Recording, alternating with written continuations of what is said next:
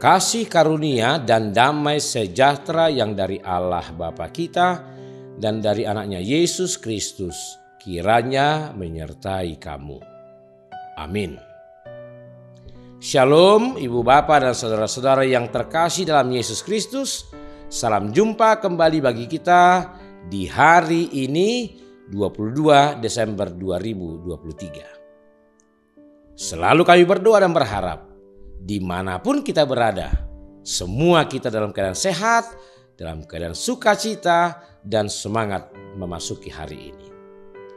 Ibu bapak dan saudara-saudaraku, di hari ini firman Tuhan yang mau kita renungkan dan kita hidupi, diambil dari kitab Ibrani pasal 13 ayat yang ke-15. Demikian firman Tuhan. Sebab itu marilah kita oleh dia senantiasa mempersembahkan korban syukur kepada Allah, yaitu ucapan bibir yang memuliakan namanya. Demikian firman Tuhan. Ibu bapak dan saudara-saudara, topik renungan bagi kita hari ini berkata demikian. Mempersembahkan korban syukur kepada Allah. Ibu bapak dan saudara-saudaraku, banyak orang yang mengerti bahwa umat yang percaya kepada Tuhan, mereka seharusnya mempersembahkan persembahan syukur kepada Tuhan. Sayangnya, ada beberapa orang yang kemudian keliru dalam memahami dan mengaktualisasikan pengucapan syukur itu. Dia justru di sana memegahkan diri, menjadi pancaran kesombongan bagi dirinya. Hal itu juga pernah dicatatkan dalam kehidupan orang-orang Farisi dalam Injil Lukas pasal 18 ayat 11 dan 12. Mereka yaitu orang-orang Farisi justru berdiri untuk mempertontonkan dirinya di hadapan kalayak ramai. Dan di situ mereka dalam doa-doanya justru memegahkan dirinya. Di sana mereka berkata, "Ya Allah, aku mengucap syukur kepadamu karena aku tidak sama seperti semua orang lain. Aku bukan perampok, bukan orang lalim, bukan penjinah, dan bukan juga seperti pemungut cukai ini. Aku berpuasa dua kali seminggu. Aku memberikan sepersepuluh dari segala penghasilanku. Orang Farisi sangat antusias memberikan kurban-kurban persembahannya, tetapi itu menjadi sarana kesombongan diri mereka. Bahkan mulut mereka, bibir mereka justru tidak memuliakan Tuhan.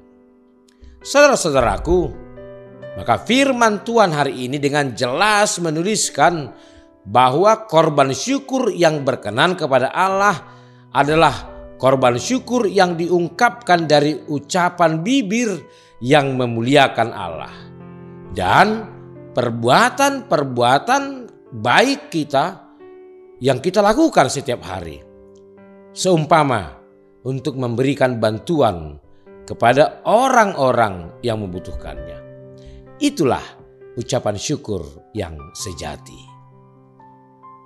Ibu bapak dan saudara-saudaraku, yang sebenarnya jika kita melakukan atau memberikan persembahan syukur kita, ucapan syukur kita, atau juga persepuluhan kita maka semuanya itu harus menjadi ungkapan untuk memuliakan nama Tuhan dan menjadi bagian dari pengakuan kita bahwa semua yang ada pada kita bersumber dari Tuhan. Jadi bila kita ingin memiliki kehidupan yang diberkati oleh Tuhan, jangan pernah terlena pada kebanggaan dan membanggakan diri. Melainkan kerjakanlah semuanya itu senantiasa untuk menjadi ucapan syukur yang memuliakan Tuhan. Karena hanya bagi dialah segala pujian, hormat, dan segala kemuliaan yang harus kita lakukan dalam kehidupan kita. Saudara-saudaraku, banyak orang justru jatuh pada sikap seperti orang-orang Farisi tadi yang justru gemar mengucapkan doanya, mengucapkan syukurnya kepada Tuhan, tapi tanpa disadarinya.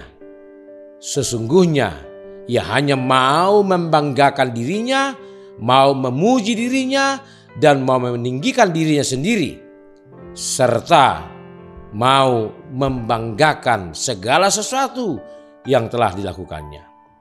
Tentu kita harus mengingatnya dengan perilaku seperti itu, sungguh Tuhan tidak pernah berkenan dengan doa dan ucapan syukur yang demikian.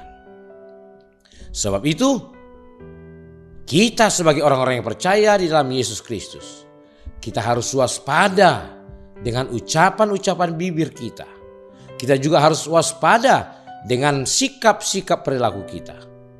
Karena secara naluri kedagingan, kita memiliki kecenderungan untuk membanggakan diri kita. Jangan sampai tanpa kita sadari, kita justru telah melakukan praktek-praktek yang sama seperti orang Farisi yang telah mereka lakukan dahulu. Tetapi ibu bapak dan saudara-saudaraku, hendaklah kita menaikkan syukur kita baik melalui perkataan bibir kita atau dengan perbuatan-perbuatan kita, sungguh-sungguhlah hanya untuk memuliakan Tuhan. Amin.